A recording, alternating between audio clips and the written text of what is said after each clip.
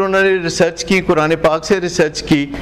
उन्होंने देखा कि जो सिंगल यूनिट होता है फैमिली का जिसमें मियाँ बीवी और बच्चे रहते हैं उसमें कोई अकाउंटेबिलिटी नहीं कर सकता उस बंदे की घर के अंदर से। उसकी बीवी नहीं कर सकती वैसे वो बीवी का खाद खा, खादिम है। जो खामद होता है, वो मुंतज़िम होता है, वो मैनेजर होता है, वो निगेबान होता है, वो ध्यान रखने वाला होता है, वो सुख पहुँचाने वाला होता है, लेकिन कहीं भी ये नहीं है कि बीवी उससे क्वेश्चन कर सकती है या बच्चे उससे क्वेश्चन कर सकते हैं। एक होता है पॉइंट ऑफ़ कॉन्टैक्ट जैसे आप मुझसे कांटेक्ट करते हैं और आप मुझे एक मैसेज भेजते हैं कि पानी पी लवा के नहीं तो मैं कहता हूँ कि नहीं। तो आप उस वक्त यही करेंगे कि नहीं पियेंगे? फिर अगले दिन मुझे आप मिलेंगे और आप कहेंगे कल की तुम गल की कि पानी नहीं पीना तो हूँ मैंने तफसील ना दस दियो। तो फिर ये एक और चीज़ है।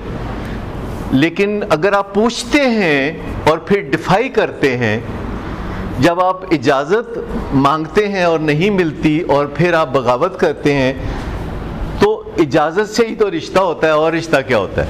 इजाज़त से ही रिश्ता होता है। हर चीज़ के रिश्ते में इजाज़त का ही रिश्ता होता है। कि आप मुल्क से बाहर जा रहे हैं, आप एयरपोर्ट पे जा रहे हैं तो वो कहते हैं, पासपोर्ट, आप कहते ये ले। फिर अगले मुल्क में जाते हैं, वो कहते वीज़ा तो आप कहते ये। तो रिश्ते बनते हैं, इजाज़तों से बनते हैं।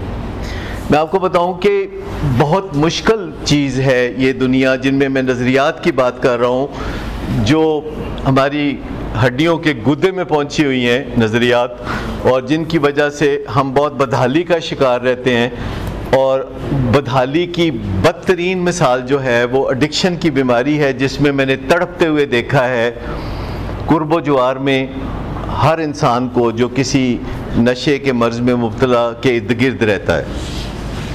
लेकिन नज़रियात को चैलेंज करना बड़ा मुश्किल काम